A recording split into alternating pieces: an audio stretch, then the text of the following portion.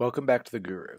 Today I'm going to show you how to conduct a Google search within a specific website. This can be very useful for if you're using a website that maybe doesn't have a search function of its own and you need to find specific information within that site. Conducting a regular Google search in this scenario would get you all sorts of results that may not be relevant to what you're looking for and probably won't be results that are within the site that you want to search. So what you will do to conduct a search within a particular website is you'll go up to the URL bar and you'll type in the name of the website and you don't need to include the www here. So let's go thegooru.com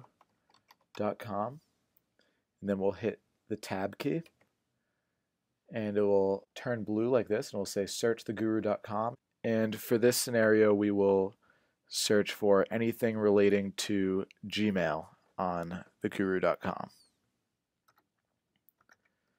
So type in Gmail right after where it says searchthegooru.com, and then we'll press enter as if we're doing a regular Google search. And now it's displaying all the search results for Gmail on thegooru.com.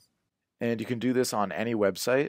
It's especially helpful, obviously, if the site doesn't have its own search bar, whereas the Gooru does. So that's all there is to it, and I hope you have found this tip helpful. If you have any questions or comments, please leave them in the comment section below. Thank you and have a great day.